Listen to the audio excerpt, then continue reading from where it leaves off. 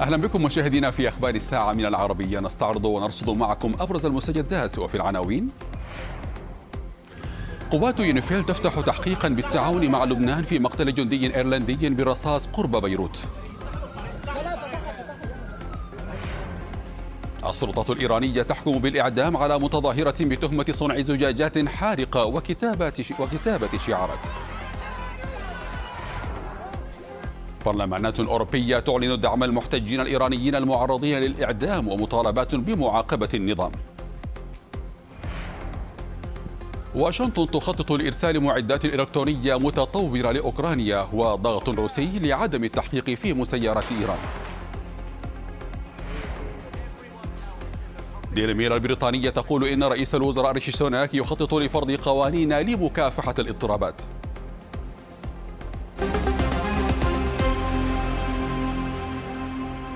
أهلا بكم مشاهدينا، البداية من الأخبار التي وردت قبل قليل حيث قالت قوات الدفاع الأيرلندية في بيان إن جنديا ايرلنديا من بعثة حفظ السلام الامم المتحدة يونيفيل قتل في لبنان في وقت متأخر من مساء أمس الأربعاء، وذلك بعد تعرض قافلة تقل ثمانية جنود كانت متجهة صوب بيروت لنيران أسلحة خفيفة، وأعلنت اليونيفيل أنها فتحت تحقيقا بالتنسيق مع القوات اللبنانية بشأن مقتل الجندي الأيرلندي.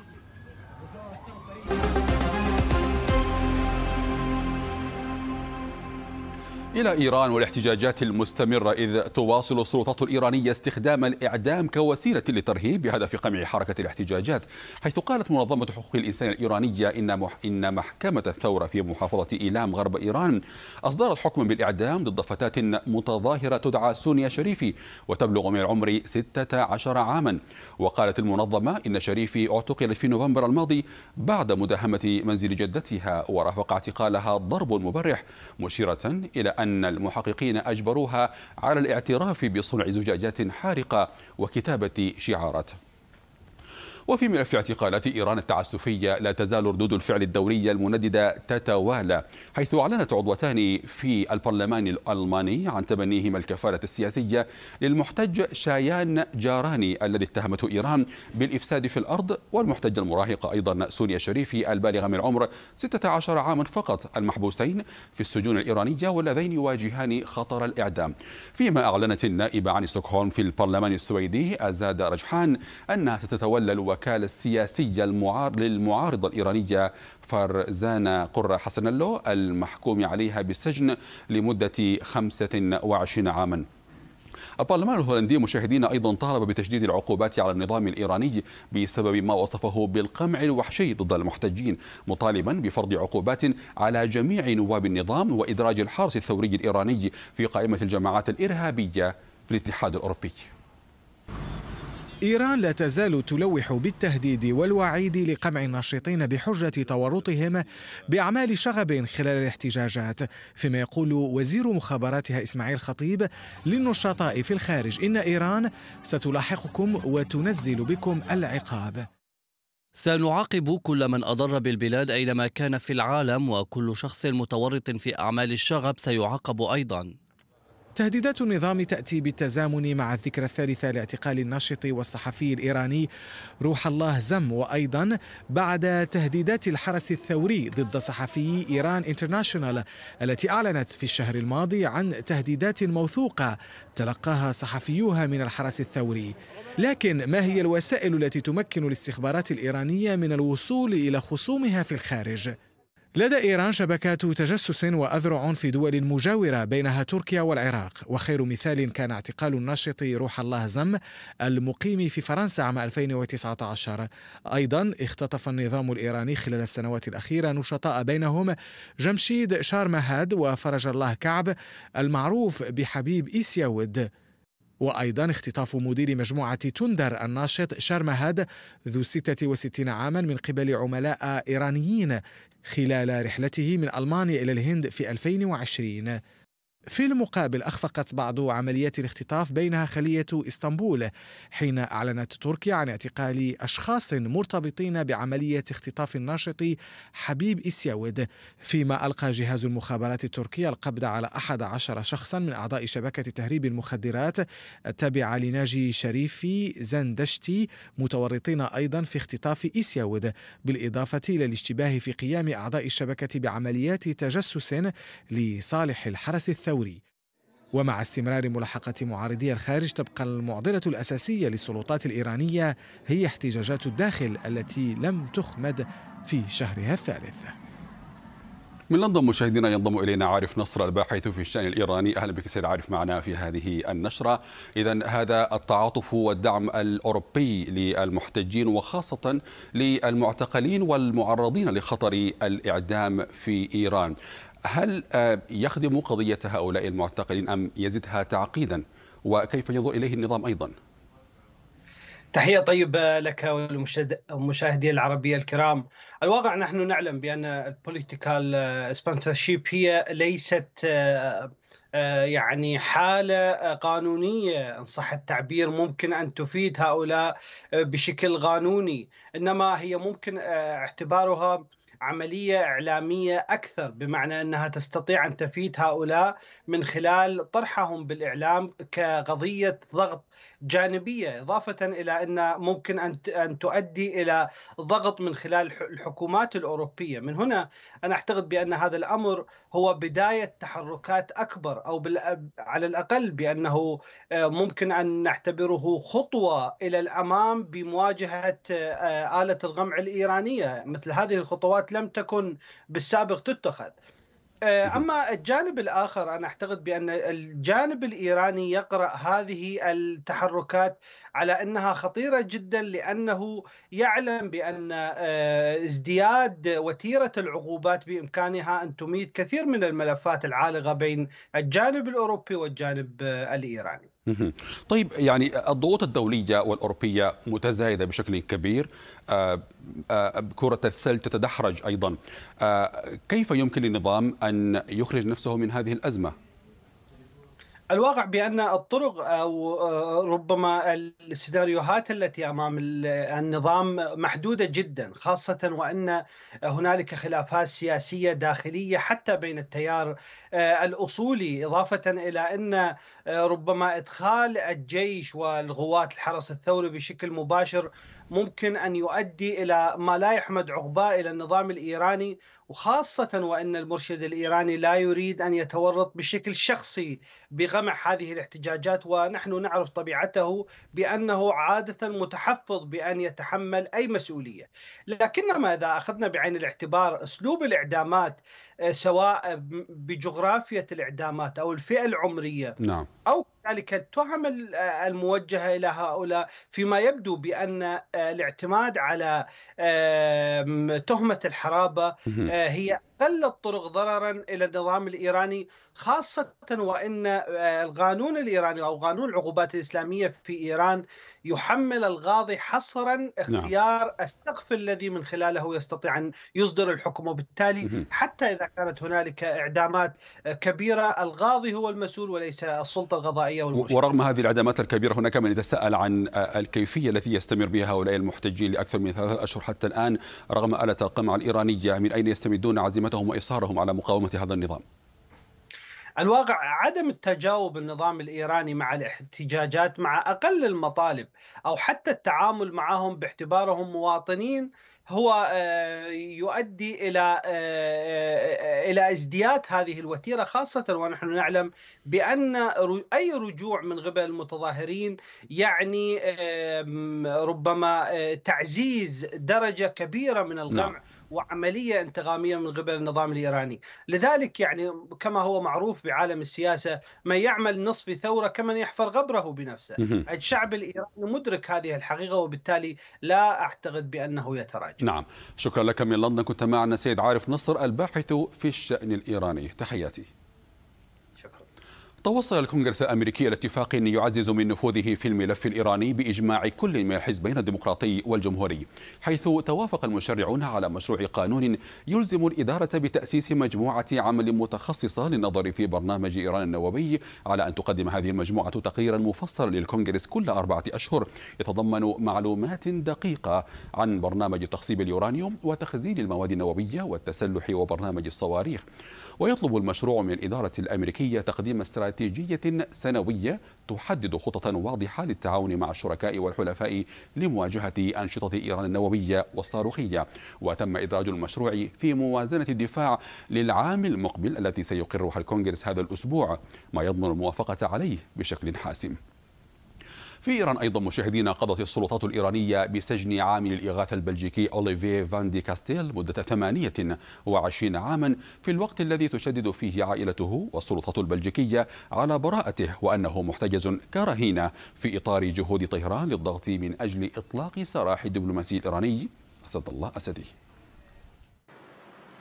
الأجانب ومزدوجو الجنسية من ذوي الأصول الإيرانية. حولهم النظام في طهران إلى ورقة ابتزاز تلوح بها أمام الحكومات الأجنبية. آخر هذه الأوراق حكم أصدرته السلطات الإيرانية. يقضي بسجن عامل الإغاثة البلجيكي أولوفيه فان دي كاستيل لمدة 28 عاما بعد اعتقاله في فبراير الماضي بتهم التجسس. وهي الاتهامات التي تنفيها السلطات البلجيكية وعائلة المدان بقوة. بلجيكا ترى في قضية عامل الإغاثة والحكم الصادر في حقه وسيلة ضغط إيرانية على بلجيكا لإطلاق سراح الدبلوماسي الإيراني أسد الله أسدي المحكوم بعشرين سنة بالسجن في بلجيكا على خلفية إدانته بالتخطيط لهجوم على تجمع للمعارضة الإيرانية في فرنسا عام 2018 خطوة إيرانية تأتي بعد أسبوع من تعليق المحكمة الدستورية في بلجيكا معاهدة لتبادل السجناء مع إيران والتي ينتظر أن يصدر الحكم النهائي في مدى شرعيتها خلال ثلاثة أشهر. ما اعتبره محللون أنه رد غاضب من إيران بعد هذا التعليق وإن كان مؤقتا.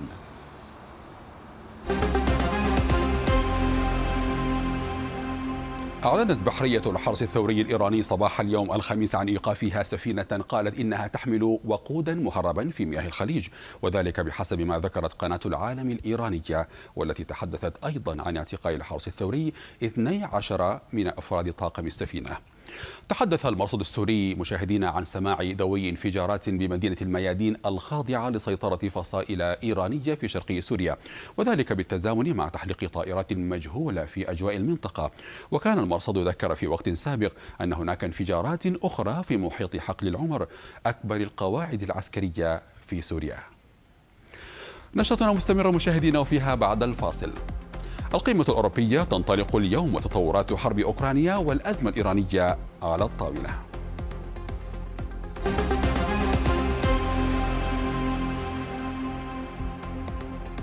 أهلا بكم مشاهدينا من جديد. يبحث قادة الاتحاد الأوروبي في اجتماع في بروكسل اليوم تطورات حرب أوكرانيا والأزمة الإيرانية وأزمة ارتفاع أسعار الطاقة ومخاطر دخول الاتحاد مرحلة ركود خطير.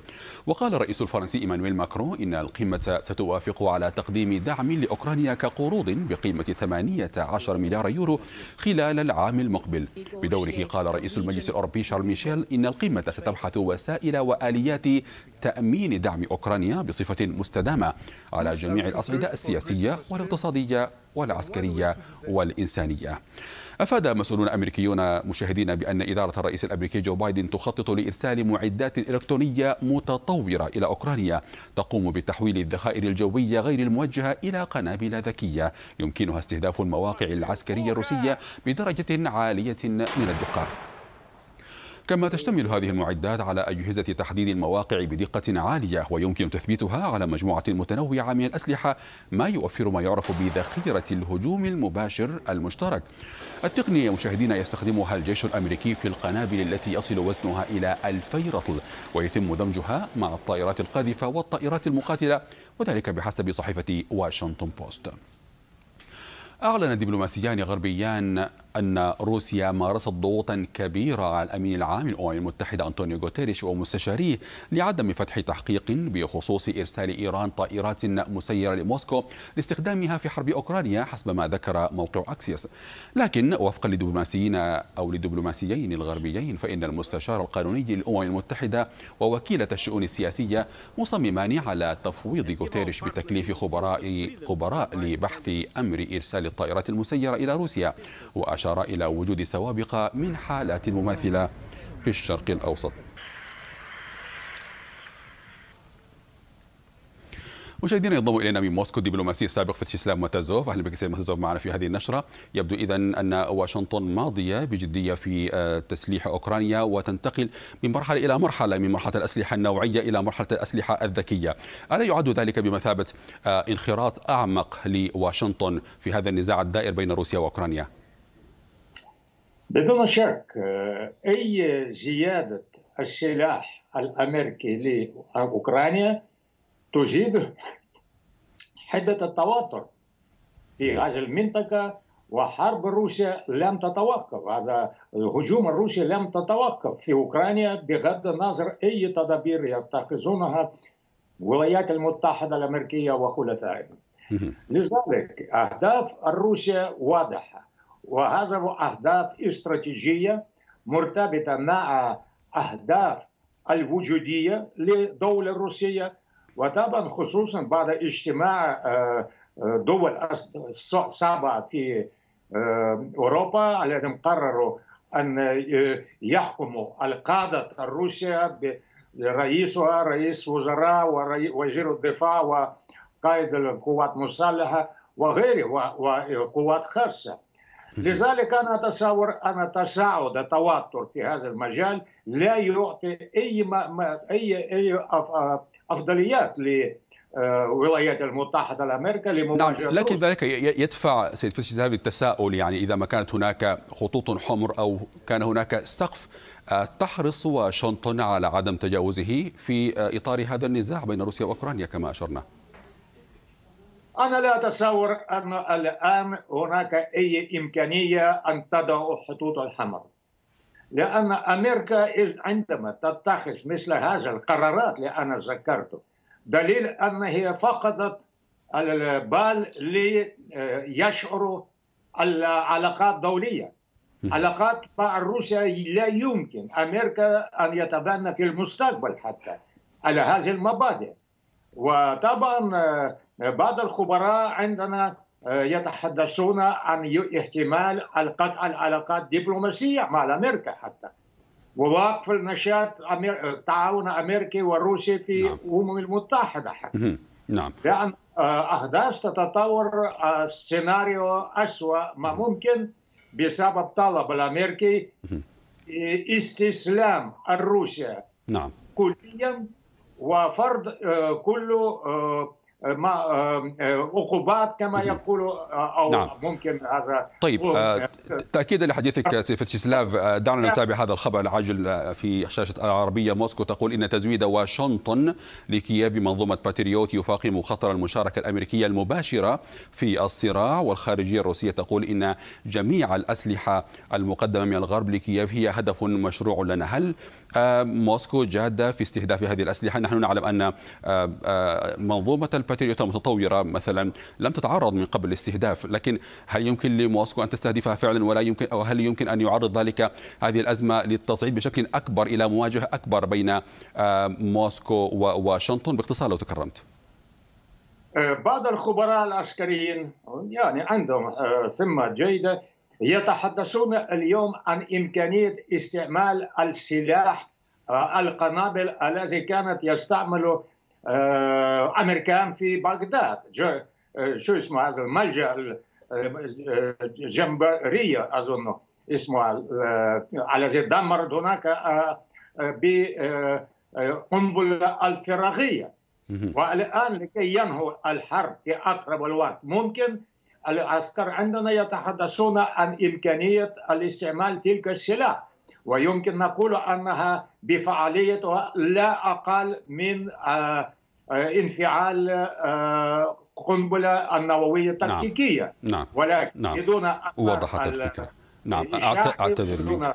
نعم هذا ما سمح بالوقت. شكرا لك من موصل كنت معنا دبلوماسي السابق فيتشسلاف ماتازوف تحياتي. شكرا.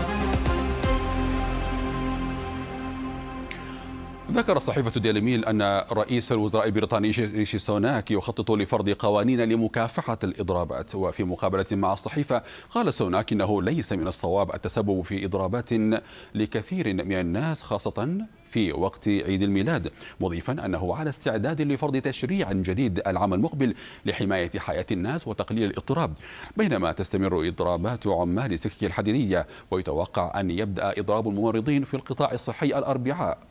القادم.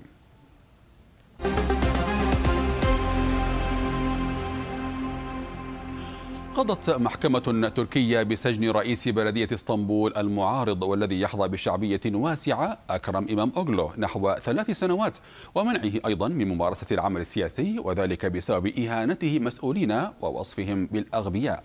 وهذا الحكم قد يقود إلى فرض حظر سياسي على رئيس البلدية إذ أيدته المحكمة العليا. بل إذا أيدته المحكمة العليا يأتي ذلك مع اقتراب موعد الانتخابات الرئاسية المزمع عقدها في تركيا في يونيو المقبل.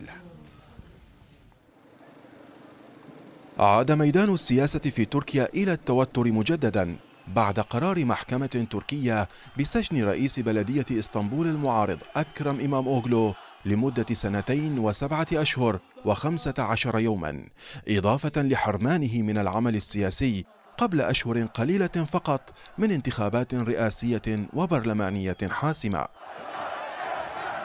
إمام أوغلو عضو حزب الشعب الجمهوري أكبر أحزاب المعارضة أدين بتهمة إهانة أعضاء المجلس الأعلى للانتخابات بينما أكد محاميه أنه سيستأنف القرار الذي لن يعتبر نافذا قبل مصادقة محكمة الاستئناف والمحكمة العليا عليه.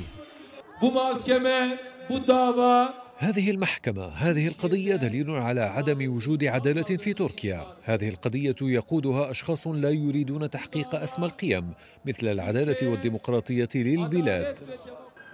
قادة أحزاب المعارضة والعديد من النقابات والمنظمات المهنية رفضوا قرار المحكمة وتضامنوا مع إمام أوكلو. أولا هذه ليست دعوة حقوقية بل سياسية. ثانيا هذه القضية غير متوازنة. ثالثا هذه القضية هي انتقامية من انتخابات إسطنبول التي لم يستطيعوا أن يفوزوا بها مرتين. كان هذا الشيء يحصل ضد الأحزاب الكردية. سجنوا رؤساء البلدية ومسؤولين من هذه الأحزاب والآن يطبقون هذا الشيء مع إمام أغلو. بعد بضعة أشهر من فوزه برئاسة بلدية إسطنبول اعتبر أكرم إمام أوغلو أن أولئك الذين ألغوا فوزه في الانتخابات أغبياء. مرددا عبارة استخدمها وزير الداخلية سليمان سويلو ضده قبل بضع ساعات من هذا التصريح الذي عرض رئيس بلدية إسطنبول للملاحقة القضائية بتهمة إهانة مسؤولين حكوميين. لا شك أن عمليات التحضير للانتخابات لن تكون كما كانت عليه قبل قرار المحكمة بحق أكرم إمام أوغلو والواضح أن المعارضة ستستغل القرار بشكل كبير في حملاتها الانتخابية خصوصا بين أنصار حزب العدالة والتنمية الحاكم الذين صوت شطر منهم لإمام أوغلو في الانتخابات البلدية الماضية. زيدان زنجلو العربية إسطنبول. نشاطنا مستمرة مشاهدينا وفيها بعد الفاصل. الرئيس المصري عبد الفتاح السيسي يطلب من واشنطن الضغط للتوصل إلى اتفاق بشأن سد النهضة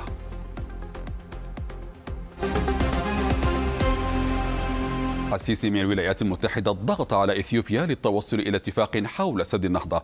وعلى هامش القمة الأمريكية الأفريقية تحدث الرئيس السيسي مع وزير الخارجية الأمريكي أنتوني بلينكين حول حيوية موضوع سد النهضة بالنسبة لمصر مؤكدا على ضرورة التوصل لاتفاق وفقا للمعايير الدولية. من جهة أخرى أكدت الخارجية الأمريكية في بيان أن بلينكين أيضا شدد على أهمية التوصل لاتفاق دبلوماسي لحماية حقوق جميع الأطراف.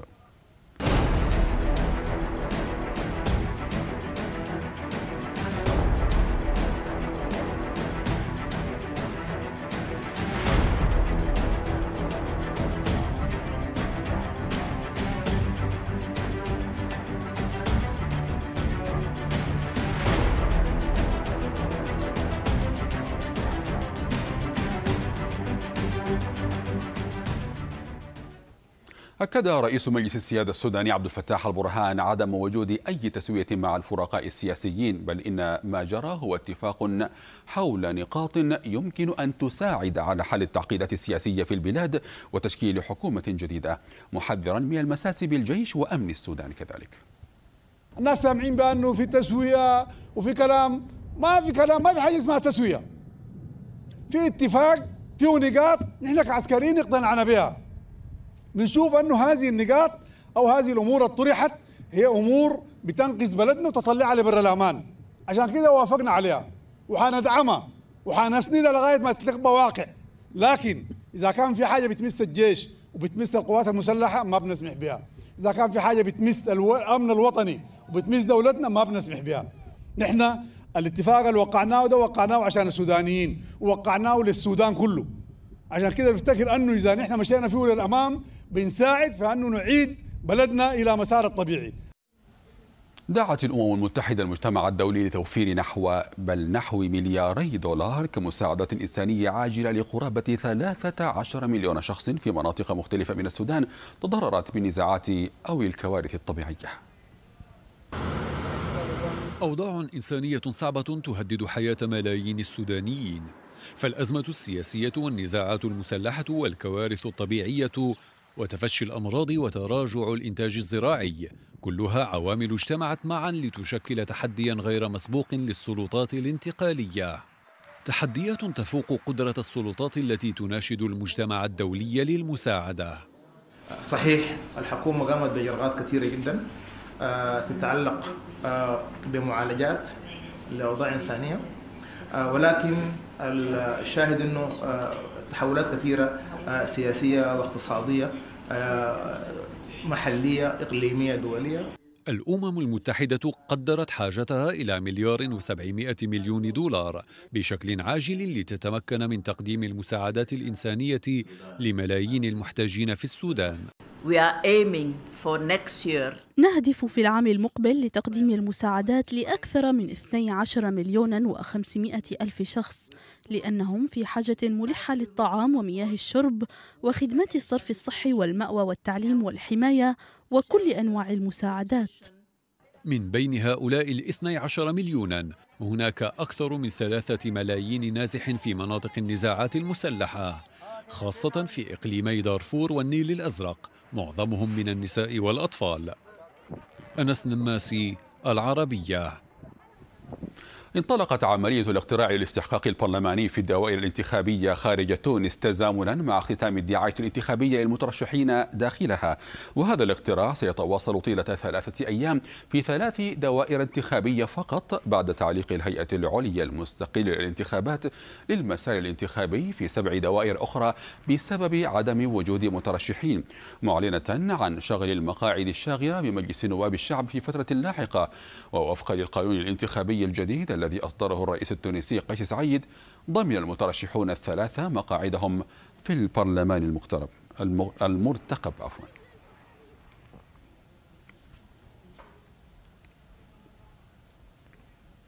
ومن تونس مشاهدينا تنضم إلينا الصحفيه نسرين حمداوي. أهلا بك نسرين. وكيف تسير اذا عملية الاقتراع في الدوائر الانتخابية الثلاث نعم صباح الخير. انطلقت منذ حوالي ساعة ونصف من الآن الانتخابات التشريعية 2022 في ثلاث دوائر بالخارج وهي فرنسا اثنين وفرنسا ثلاثة ودائرة إيطاليا باعتبار أن بقية الدوائر الانتخابية بالخارج وعددها سبعة لن تشهد فتح لمكاتب الاقتراع باعتبار أنه لم يترشح أحد. إلى حدود هذه اللحظة الهيئة العليا المستقلة للانتخابات تقول أنه تم فتح مكاتب الاقتراع في موعدها المحدد دون تسجيل أي تأخير ودون تسجيل أي إخلالات من أي نوع آخر. أما في الداخل فإنه اليوم هو اليوم الأخير في فترة الحملة الانتخابية على أن ندخل غدا في فترة الصمت الانتخابي قبل التوجه إلى مكاتب الاقتراع في كل ولايات الجمهورية. بداية من الساعة الثامنة صباحا بالتوقيت المحلي بتونس يوم السبت السابع عشر من ديسمبر مع بعض التغييرات في مواقيت فتح أبواب مكاتب الاقتراع وذلك إما لأسباب أمنية في الأماكن الحدودية في تونس وأيضا لأسباب دينية أخرى باعتبار أن هنالك مناطق يقطن فيها أشخاص أشخاص من من الديانة اليهودية ومن المنتظر أن يتم آه، غلق آه، مكاتب الاقتراع على الساعة الثامنة مساء عوضا عن الساعة السادسة. نعم. آه، فيما يتعلق بالنقطة التي أثرتها نسرين حول عدم وجود مترشحين في الدوائر الانتخابية التي علقت فيها العملية الانتخابية من قبل الهيئة العامة للانتخابات هل أو الهيئة المستقلة عفوا للانتخابات ما الذي يقوله المراقبون حول ذلك؟ ما هي الأسباب؟ هل يعود ذلك للمقاطعة؟ طيب آه، يبدو أننا فقدنا إذن التواصل مع الزميلة نسرين حمداوي. سنعود إليك مرة أخرى في سياق هذه النشرة والنشرة المقبلة. أعلنت الولايات المتحدة أنها ستقدم 150 مليون دولار لتزويد مستشفيات في أفريقيا جنوب الصحراء الكبرى بالكهرباء. وقالت الوكالة الأمريكية للتنمية الدولية إن المبادرة ستمتد لخمس سنوات وتهدف إلى توفير الكهرباء وتسهيل الوصول إلى الإنترنت إلى أكثر من عشرة آلاف منشأة صحية في جميع أنحاء أفريقيا جنوب الصحراء الكبرى. مشيرة إلى أن البرنامج سيركز على الطاقات المتجددة بهدف مكافحة التغير المناخي. أعلن المجلس الرئاسي الليبي برئاسة محمد المنيفي أنه أحال شكوى مقدمة من عائلة المواطن بوعجيل مسعود المريمي إلى النائب العام الليبي وطالبه باتخاذ الإجراءات اللازمة. وذكر تلفزيون ليبيا الأحرار أن المجلس طالب وزارة العدل في حكومة الوحدة بالتنسيق مع الخارجية لتعيين هيئة دفاع عن المريمي ومتابعة الأمر مع السلطات الأمريكية. كما طالب المجلس رئيس حكومة الوحدة الليبية عبد الحميد الدبيبة بتوضيح لما ورد من الجانب الأمريكي بشأن التنسيق المسبق لتسليم المواطن الليبي بعجيلة يتجه الأردن مشاهدين إلى الاعتماد على الطاقة المتجددة لتوليد الطاقة في ظل ارتفاع أسعار الكهرباء والمشتقات النفطية حيث تساهم الطاقة الشمسية وطاقة الرياح في إنتاج ما يقارب 29% من الطاقة المولدة في الأردن. التفكير بالاتجاه للطاقة البديلة لم يكن وليد اللحظة عند السيد أديب. فمنذ أكثر من 12 عاما اتجه إلى طاقة الشمس لتوليد الكهرباء. واليوم يعتمد السيد أديب على الطاقة النظيفة في استخداماته 100% متجاوزا أزمة ارتفاع أسعار الكهرباء. نظامها طلع لي أو يعني آه، استطاع أن ينتج لي 103 آلاف كيلو وات خلال ثلاث سنوات. هذول طبعا أنا لأنه آه، استخدامنا عالي بيت كبير ومع الأسوار ومع البوابات ومع واستخدامي معتمد على الكهرباء إحنا وفرنا بما يقارب حوالي 20 ألف دينار خلال الثلاث سنوات الماضية. وإلى نطاق أوسع يعتمد الأردن على طاقة الشمس والرياح بما يقارب 29% من الطاقة المولدة. ظروف اقتصادية وسياسية تدفع البلاد لضرورة استغلال الموارد الطبيعية المتجددة لتخفيف استيرادها من الخارج فهنا واحد من أكبر المجمعات الشمسية في المنطقة إضافة لمشروع طاقة الرياح في دولة تسعى لاعتماد الطاقة البديلة بدعمها تكلفة أنظمة الخلايا الشمسية للقطاع المنزلي والسياحي والصناعي بنسبة تصل إلى 50%. هدفنا هو إحداث آه، آه، أثر اقتصادي واجتماعي مباشر على المواطنين ومساعدتهم على تحمل فاتورة الكهرباء الشهرية. ورغم الحاجة الملحة لرفع قدرة الشبكات والخطوط المولدة للطاقة الشمسية، إلا أن طبيعة الأردن الجغرافية المناسبة لمشاريع الطاقة النظيفة، إضافة لكونه واحدا من دول الحزام الشمسية، كانت دافعة لاستغلال موارده غير المكلفة وسط أزمة عالمية ضاعفت من قيمة فاتورة الكهرباء. سهى جميل العربية عمان ونشير هذه الأخبار العاجلة. نقلا عن ابنة شقيقة خامنئي العربية تقول عند وفاة خامنئي النظام سيسقط وتقول أيضا إن أبي قتل بسبب معارضته للنظام. بالعودة إلى سياق نشاطنا ركود المياه والجفاف الذي تشهده محافظة النجف الواقعة في الجنوب الغربي للعاصمة العراقية بغداد تسبب في انتشار الأمراض الفتاكة التي ساهمت في انخفاض الإنتاج السمكي وتراجع واحدة من أكثر المهن عراقة في البلاد. نشاهد التفاصيل. منذ سنوات والعراق يعاني من انخفاض متواصل في الإيرادات المائية عبر نهري دجلة والفرات. وتحديدا في محافظة النجف الواقعة في الجنوب الغربي للعاصمة بغداد. المحافظة التي كانت تعرف لدى الجميع بأنها المنطقة الغنية بالمياه والتي كان بإمكان سكانها الوصول إلى المياه العذبة من الآبار للحفاظ على الثروة السمكية. أما الآن فقد انعكس الوضع تماماً. وتسبب ركود المياه والجفاف فيها إلى انتشار الأمراض الفتاكة التي ساهمت في انخفاض الإنتاج السمكي. خسرنا بها الأسماك لأنه ما استفادنا بها بصراحة. ذيك السنين لا استفادينا بس هاي السنين من قلة المياه وزاد قلة جفاف المياه يعني زادت الأمراض علينا. من زادت الأمراض الأسماك تمرضت يعني فإنتاجيتها قلت. كم كانت الأنهر شوية ميها مرتفع وجاري مثل ما نقول إحنا نعبر عليه. يعني كان يوصلنا مي عذب بالآبار مالتنا. كنا نقدر نستفاد من المي اللي يجينا من البير. هسه يعني من قام يقل المي شوي شوي قام يصعد الكبريت عندنا بالمي مالت البير. وهذا يسبب هلاكات. السبب الرئيسي يعود إلى انخفاض التدفقات من إيران وتركيا والتي كانت تصدر حوالي 70% من نهري دجلة والفرات. وأصبح الجفاف والعواصف الرملية ودرجات الحرارة العالية تشكل تهديدا وجوديا لدى العراقيين بشكل متزايد. فإنتاج الأسماك في محافظة النجف قد بلغ نحو 2000 طن سنويا في عام 2018 وانخفض حاليا إلى نحو 700 طن وفقا لمدير الزراعة في النجف. وهو الأمر الذي أدى بطبيعة الحال إلى نقص الأسماك في السوق وارتفاع أسعارها بشكل مبالغ وتوقف بعض المزارعين عن العمل. واي معاناتنا تجي المواطنات تقول له بهالقد فلوس تقول له ب 40 50 ألف دينار يضرب بطناش ويشرد. كان بالاسبوع أنا اكل يمكن العائلة مالتي تاكل ثلاث مرات إيش قد هسه يجوز بالشهر يجوز أكل مرة. يعني فرق هواي. يعني بدل ما كنا إحنا كنا 20 20 20 طن أو 40 طن صار هالدورة ماكو ما يسدد حتى سعر الأسماك اللي تجيبها فإحنا هالحالة يا بالله قلت من قل الإنتاج توقفنا عن العمل. وقد احتجت بغداد مرارا على هذه السدود المشيدة على نهري الفرات ودجلة التي يعتمد عليها العراق في تأمين المياه.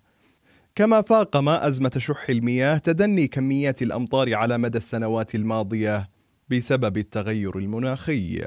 سلطان العيبان العربية.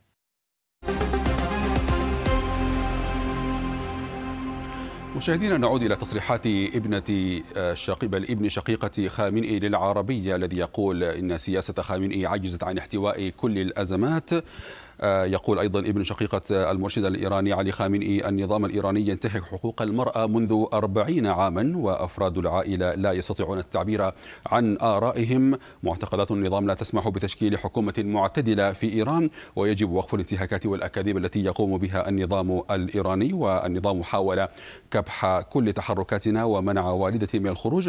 كما قال عند وفاة خامنئي النظام آه، سيسقط ويقول إن أبي قتل بسبب معارضة معارضته للنظام كانت هذه تصريحات ابن شقيقة المرشد الإيراني علي خامنئي لقناة العربية.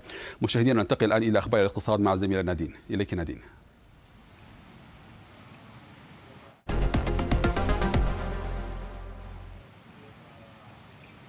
شكرا لأحمد. أهلا بكم مشاهدينا. لنلقي نظرة على تداولات أسواق المنطقة كما هي بالوقت الحاضر من بعد مقام الفيدرالي يوم أمس كما كان متوقعا برفع أسعار الفائدة ب 50 نقطة أساس. من بعد أربع رفعات ب 75 نقطة أساس بكل مرة. لحقت اليوم عدد من البنوك الخليجية خمسة من الستة لحقت بقرار الفيدرالي البنك المركزي السعودي القطري الإماراتي والبحريني.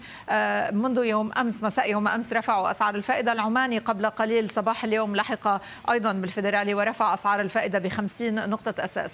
الكويت دائما في يعني لا لا يرفع المركز الكويتي مباشرة من بعد الفيدرالي لأنه الدينار الكويتي ليس مربوط direct peg مع الدولار هو مربوط بسلة من العملات بينما العملات الخليجية الأخرى مربوطة مباشرة بالدولار ولذلك البنوك المركزية الخليجية الأخرى بتلحق مباشرة بخطوه الفيدرالي. هذا سوق الأسهم السعودي اليوم على ثبات ب يعني كان في بعض التذبذب افتتح صباحا على بعض النزول رجع سجل شوية ارتفاع الآن على ثبات بذكر أنه السوق السعودي يوم الاثنين سجل أدنى مستوى منذ أبريل 2021 بالتالي ارتد بجلسات الثلاثاء والأربعاء سجل بعض الارتداد. اليوم عم نشوف ثبات. هذه الأسهم الأكثر ارتفاعا بالوقت الحاضر في السوق السعودية عذيب للاتصالات من ضمنها نتوركس أميانتيت آه، من ضمن القائمة. لنلقي نظرة على الأسهم الأكثر تراجعا. الرعاية المستقبلية بنك البلاد الإنماء طوكيو مارين اللي عم تندمج مع الدرع العربي الدوائية من الأسهم المتراجعة. هذه الأسهم الأكثر تداولا بالقيمة أمريكانا للمطاعم تتراجع اليوم من بعد ثلاث جلسات من الارتفاع. سعر ال IPO كان ريالين 68 هللة. هي عملت إدراج مزدوج بأبو ظبي وبالسعودية اليوم فإذا السهم عم يتراجع بعض الشيء ولكن لاحظوا أحجام التداول عليه عالية. الراجحي أيضا على تراجع ومعادن على تراجع بينما مرافق. هذا الإدراج أيضا الوافد الجديد بالسوق السعودية على ارتفاع. بالقطاع المصرفي الصورة إيجابية ما عدا على راجحي في تراجعات. البنوك عادة تستفيد من رفع الفائدة لأنه بتمرر تكلفة الفائدة يعني بشكل مباشر للعملاء المستدينين وبدها وقت لترفع على الودائع لحتى تستحق الودائع. القطاع الطاقة أرامكو على ثبات بترو رابغ متراجعة. وأخيرا نظرة على قطاع المواد الأساسية سابق على ارتفاع بنصف النقطة المئوية. أعود ألقاكم في الأسواق العربية بعد قليل بيكون لدينا متسع من الوقت للحديث عن الأخبار الاقتصادية. عودة إليك أحمد الآن. شكرا نادين. شكرا نادين. في المغرب مشاهدينا سادت مشاعر مختلطة بين الفخر والحزن بين جماهير المغرب التي اعتادت الاحتفال بأعداد غفيرة في مختلف بقاع العالم خلال مسيرة الفريق. وعلى الرغم من خسارة الفريق أمام فرنسا إلا أن الجماهير احتشدت في ساحات المغرب احتفالا بمنتخبهم الذي دخل التاريخ بعدما أصبح أول فريق أفريقي يبلغ الدور قبل النهائي بكأس العالم لكرة القدم.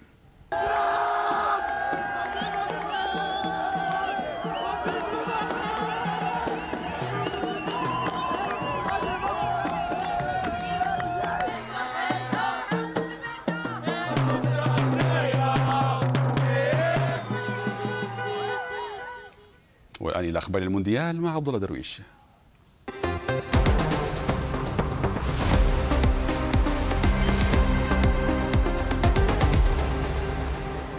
حياكم الله مشاهدينا إلى الموجز الرياضي، حملة الدفاع عن اللقب لمنتخب فرنسا تستمر بعد فوزه على نظيره المغربي بهدفين دون رد، ليضرب موعدا كبيرا مع الأرجنتين في نهائي كأس العالم الأحد المقبل على ملعب لوسيل. ونجح المنتخب الفرنسي بتسجيل الهدف الأول عند الدقيقة الخامسة عبر ثيو هرنانديز.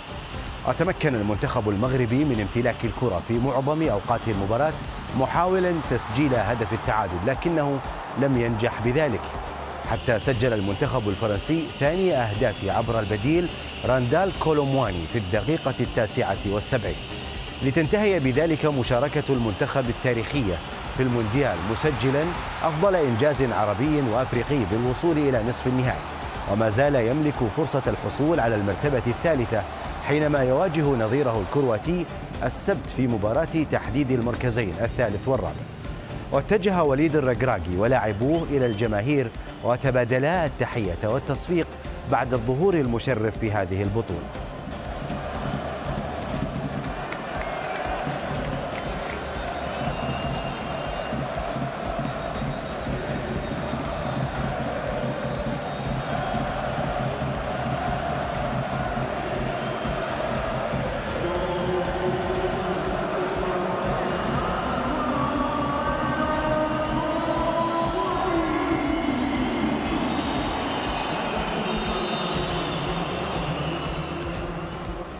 قام الرئيس الفرنسي إيمانويل ماكرون بزيارة إلى سوق واقف في الدوحة قبل ساعات من مباراة بلاده أمام المغرب في نصف نهائي مونديال قطر قبل أن يتوجه إلى الملعب لمتابعة مجريات اللقاء.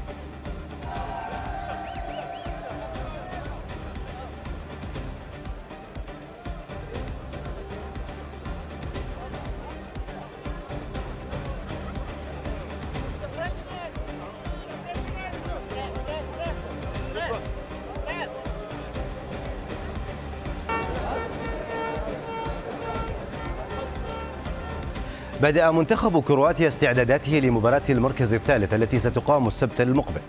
وقام قائد المنتخب لوكا مودريتش ببعض التمارين الخفيفة خلال التدريبات مع استمرار تزايد التكهنات بشأن مستقبله الدولي. ولم يستطع المدرب السابق زلاتكو داليتش تأكيد ما إذا كان صانع الألعاب سيقرر الاعتزال بعد مباراة تحديد المركز الثالث. وقال إن العالم بأسره سيفتقده في حال قرر الاعتزال. ميسي كان على الموعد أمام كرواتيا. سجل هدفا وصنع آخرا وهو من قاد الهجمة في الهدف الثاني لزميله ألفاريز. أعادنا إلى أجواء 86 وتنتظر المباراة النهائية. عله يزيد بعض الأرقام.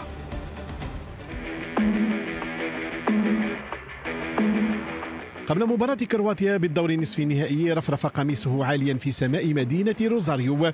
وخرجت جحافل من الجماهير الأرجنتينية في شوارع العاصمة بيونس آيرس إيمانا هذه المرة بوصول رفاق القائد ميسي إلى النهائي. ميسي كان في الموعد أمام كرواتيا سجل هدفا وصنع آخر وهو من قاد الهجمة في الهدف الثاني لزميله ألفاريز. نجم باريس سان جيرمان وبهدفه في مرمى الكروات تمكن من الانفراد بصدارة الهدافين التاريخيين للأرجنتين في النهائيات بأحد عشر هدفا. بعدما تقاسمها خلال الأيام الماضية مع باتيستوتا صاحب العشرة أهداف ميسي سيصبح أيضا يوم الأحد المقبل صاحب الرقم القياسي كأكثر اللاعبين مشاركة في نهائيات كأس العالم بعدما تقاسم الرقم في مباراة كرواتيا مع الألماني لوتار ماتيوس صاحب الخمس والعشرين مشاركة في البطولة العالمية un poco caliente por el final. ¿Qué mira, bobo? ¿Qué mira, bobo? Anda, anda para allá, bobo. نجم برشلونة السابق والذي يلعب المونديال الخامس مع التانجو والأخير في مسيرته الكروية ظهر هذه المرة بشخصية مخالفة عن مشاركته السابقة داخل وخارج الملعب.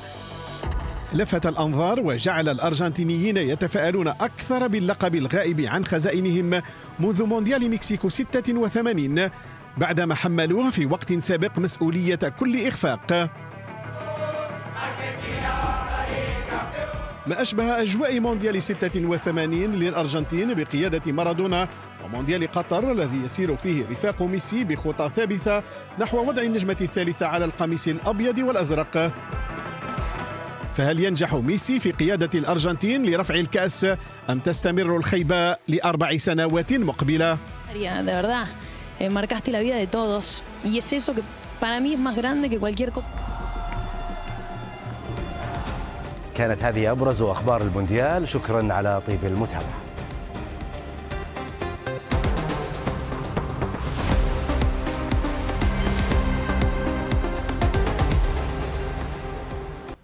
مأساة في عرض بحر المانش بغرق قارب للهجرة غير القانونية في أجواء شديدة البرودة. أعادت إلى الواجهة ملفا ساخنا يوتر العلاقات بين بريطانيا وفرنسا منذ سنوات. ووعود بريطانية بمعالجة سريعة لمشكلة الهجرة. تحول بحر المانش من طوق نجاة لآلاف المهاجرين الحالمين بمستقبل أفضل إلى مصيادة موت تحول دون عبورهم بين عالم فقير وآخر واعد بالفرص. مرة أخرى وقع في فخ الموت زورق على متنه أربعون مهاجرا يأملون بالوصول إلى اليابسة البريطانية. قيادة جديدة متخصصة في الزوارق الصغيرة في القناة. اتفاقيات مع ألبانيا وفرنسا تطبيق صارم لقوانين الهجرة ونصوص تشريعية صريحة لأول مرة.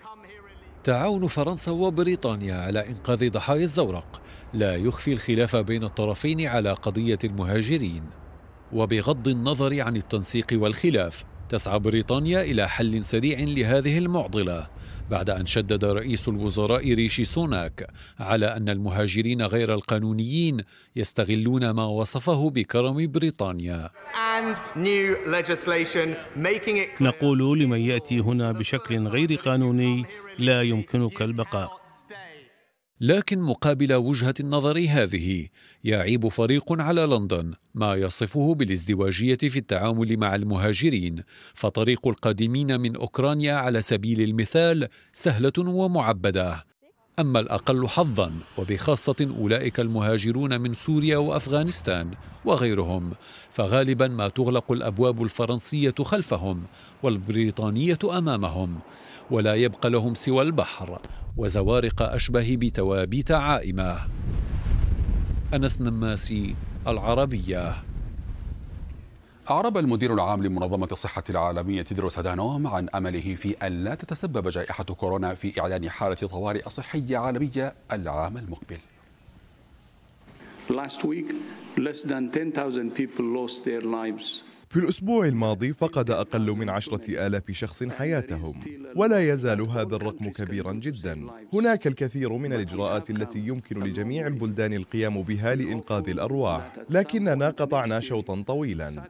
ونأمل أنه في وقت ما من العام المقبل سنتمكن من القول إن فيروس كورونا لم يعد حالة طوارئ صحية عالمية.